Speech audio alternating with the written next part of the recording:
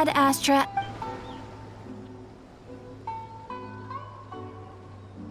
Thank you for completing today's commissions.